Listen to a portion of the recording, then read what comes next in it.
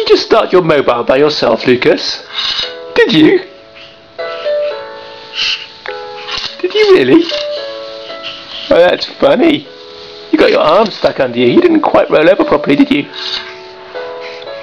Oh. Did you have a good nap? Did you have a good nap? Let's get your arm out. There we are. There we are. How are you, Lukas? How are you doing? How are you doing? Yes. Oh, Lukas. Yeah.